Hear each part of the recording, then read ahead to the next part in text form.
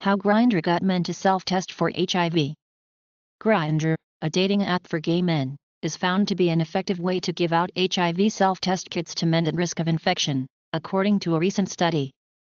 For more details click on the link below.